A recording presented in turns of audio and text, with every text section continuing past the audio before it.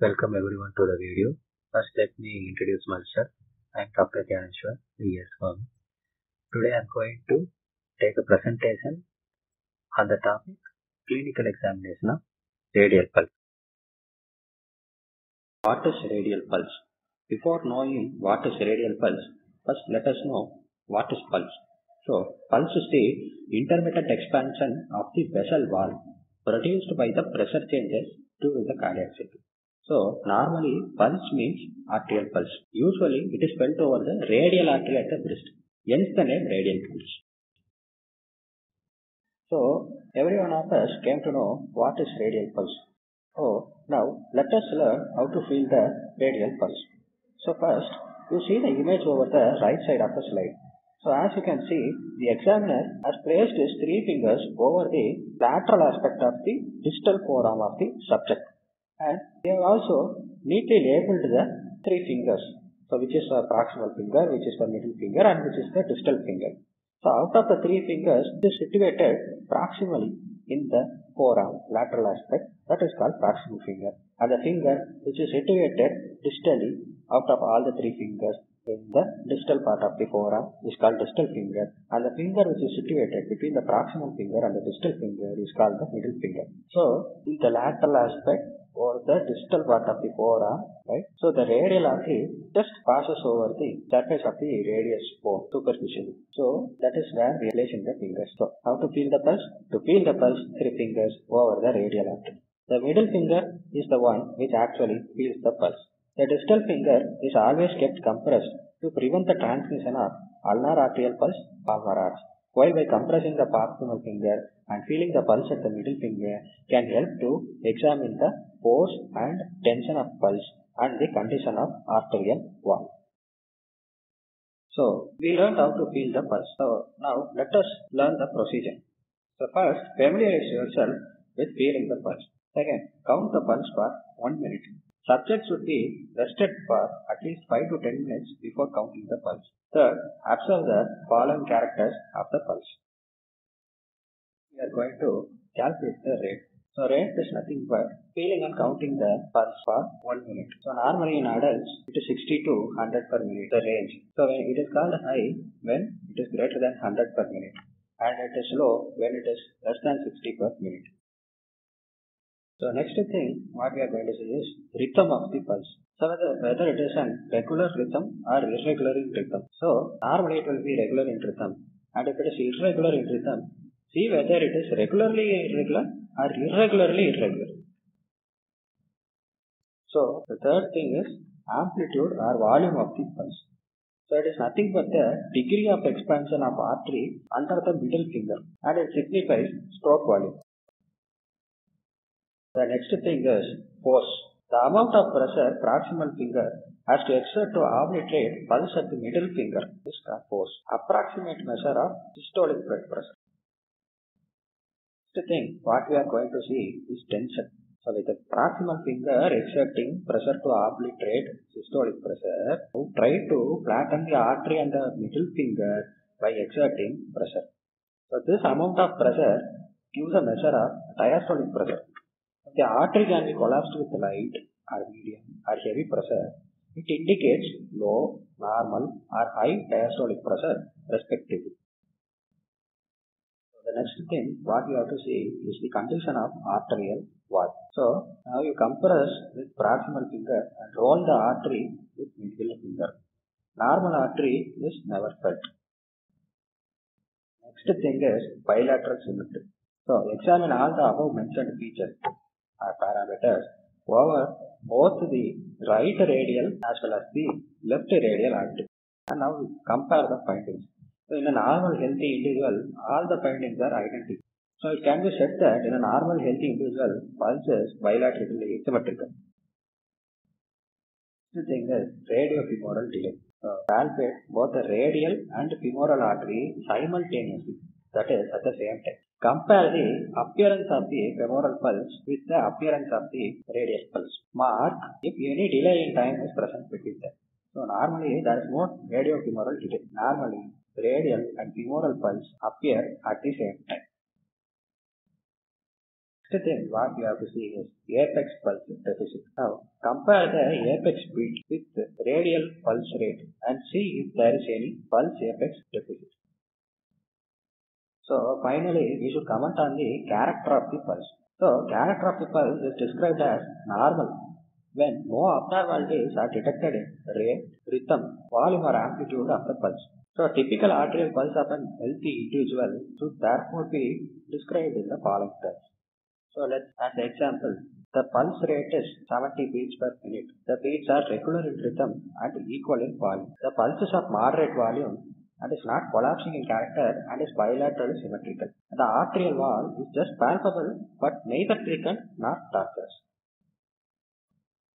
We can see that in this particular tabular column, everything has been summarized and neatly presented. So the first column, character is character of the pulse is given as this. And in the second column, the corresponding results for the character, the right radial artery.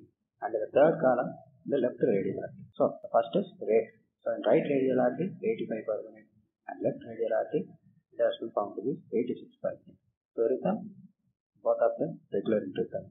Force, moderate, both of them. Volume, moderate both of them. Tension, moderate both of them. Condition of pressure was not felt in both of them. Radiofemoral delay, absent on both the sides.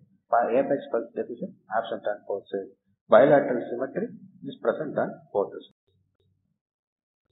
Now we are going to find the effect of exercise on radial pulse. So, first before asking the subject to do exercise, you count the resting pulse rate of the subject. And now you ask him to do the exercise by any of the following three methods.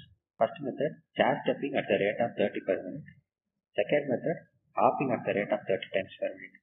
Third method, running and walking at measured distance. Now, immediately after the completion of exercise, you count the pulse for 15 seconds. So, at the end of 15th second, you note down the rate. Now ask the subject to take rest for 15 seconds. Now time will go for, go to 30th second. Beginning of 30th second. Now you once again start to count the pulse for another 15 seconds. So by the end of 45th second, you note out the pulse rate. And once again you ask the subject to take rest for another 15 seconds. So now the time will become 60th seconds. And now you start to count the pulse for another 15 seconds. And by the end of 75th second, you note down so like this, we are going to 15 seconds you are going to count, 15 seconds rest, or another 15 seconds you are going to count, 15 seconds rest, like that. So you are going to do this procedure till the rate falls below the resting pulse rate or reaches the resting level. And after that, you plot a graph of the pulse rate we obtained throughout this procedure against the time interval.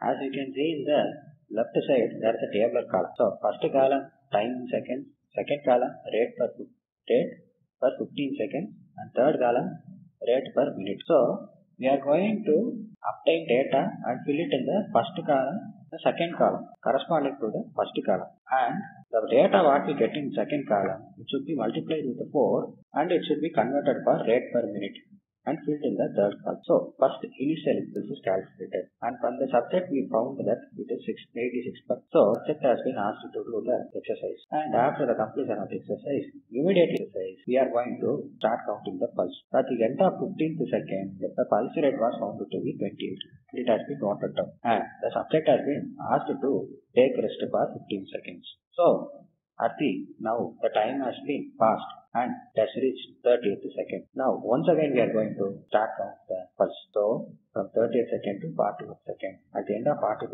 second we have noted down the pulse and it has been found to be 24 per 15 seconds. And once again the subject has been allowed to take rest for another 15 seconds.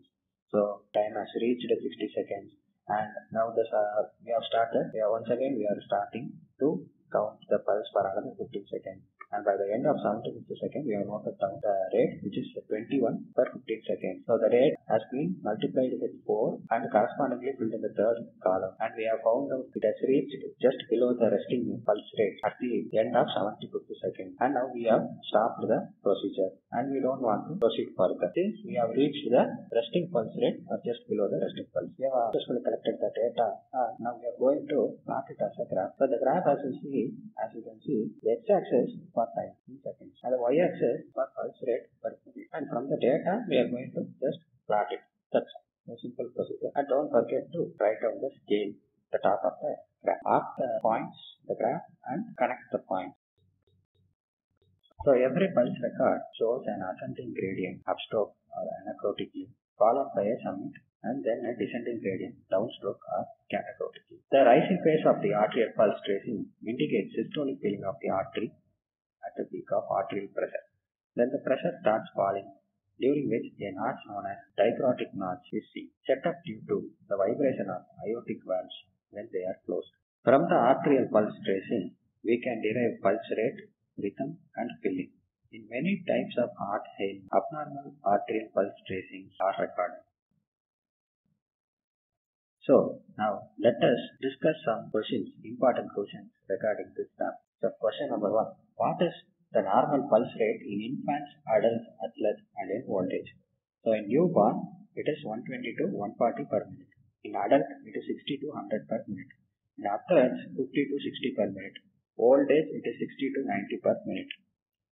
Okay. Question number two. What is sinus arrhythmia? So it is nothing but a, it is the physiological condition in which there is rhythmical increase and decrease in heart rate during inspiration and expiration respectively. Now coming to question number 3. What is tachycardia and bradycardia and what are their physiological and pathological causes? So tachycardia means increase in heart rate above 100 per minute. So physiological causes. Excitement, muscular exercise in newborn, pregnancy, afternoon, etc. Pathological causes, fever, thyrotoxicosis, atrial flutter, fibrillation, shock, anemia, etc. So bradycardia means decrease in heart rate less than 60 per minute. So physiological causes are in athletes, sleep, meditation. Pathological causes are hypothyroidism, heart block, drugs like. So now coming to question number 4. Is it possible to have low heart rate with more pulse rate or vice versa? No, it is not possible to have low heart rate with more pulse rate, but the opposite vice versa is possible because heart rate is transmitted as pulse rate. So now coming to question number 5, what is pulsus paradoxus and pulsus alternans? So pulsus paradoxus. This is an accentuation of normal phenomenon where volume of pulse decreases during inspiration and increases during expiration. In pulsus paradoxus, during inspiration, volume of pulses grossly decreased. So next thing, pulsus alternans. In this, there is alternate weak and strong pulse. So coming to the last slide, abnormal pulses. So in first year, it is wise to learn the names of the abnormal pulses and their characters in the respective waveforms and the conditions in which the abnormal pulses occurs, you can learn it in the successive years. So there are some of the abnormal pulses. Dicrotic pulse, thready pulse, pounding pulse, pulsus bisferiens, pulsus alternans, pulses Pagini, pulsus paradoxus, pulses tortoise, parvus, have water hammer pulse. And you take your time to read the character, their corresponding character, characters column, and you coordinate with the waveform as given in the waveform column. And also read the conditions. Take your time.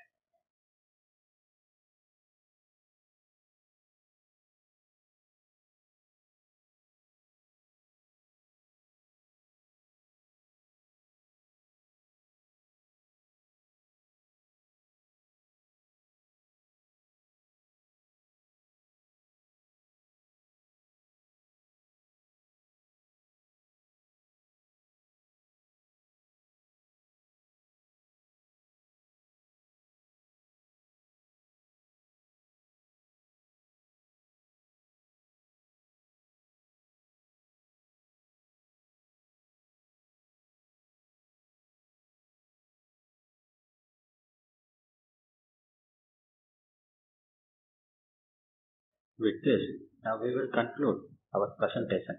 Thank you all everyone for patiently listening to this.